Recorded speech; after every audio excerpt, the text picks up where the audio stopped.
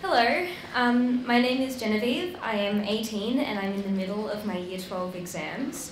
I am very excited and feel quite honoured to be able to share with you my journey of being able to accept and welcome who I am.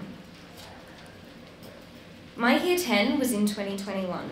As you know, during this year we were coming in and out of lockdowns. This significantly impacted my ability to study and complete work as well as limiting my social interactions, which meant I was struggling to make and maintain friendships with other people. When we did go back to school, I was alone, scared, sad, and terrified of the new situations and environments I was in, and definitely did not know how to study. This is a photo of me in year 10. I was very shy. And that's what I posted on the last day of year 10 that year. I'm so stoked. I am so ready to start VCE the next year, as you can tell. in year 11, in 2022, it was a huge leap from the previous years.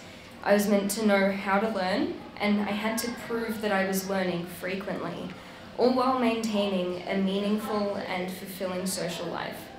As you might imagine, this seemed almost impossible, and I honestly believed that I could not do it.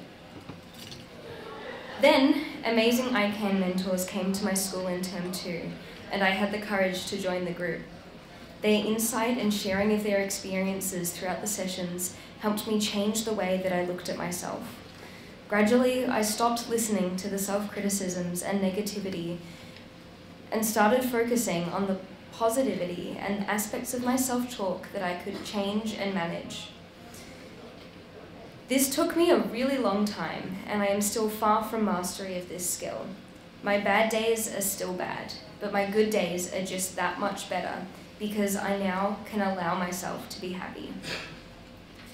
Advocacy is a skill that I wholeheartedly believe everyone in this room should and can acquire.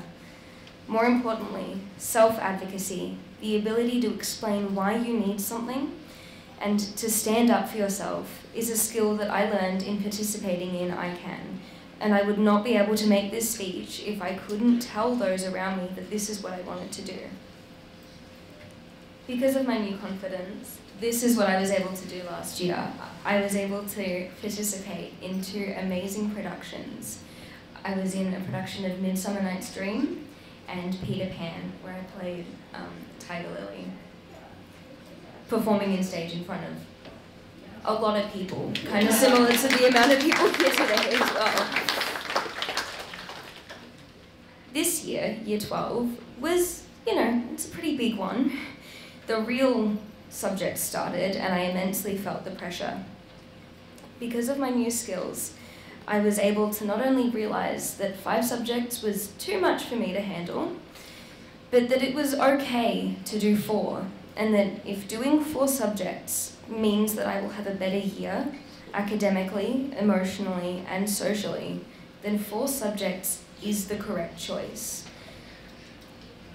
This kind of self-talk would never have happened before, I advocated for myself to my parents, psychologists, and teachers, and was able to continue my VCE with four subjects, which turned out to be the correct choice. Because I was no longer struggling with the volume of schoolwork, which impacted me so much that I could barely socialise, I have had the mental space to maintain quite strong friendships and have been able to fully enjoy the times of this year when I'm not studying. I value my friendships because these people, these special people, see me as I now see myself.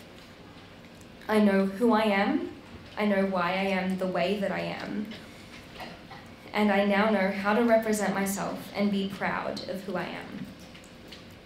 Because of I CAN, I have the confidence to be who I want to be, be who I am, and be unapologetically me. Thank you.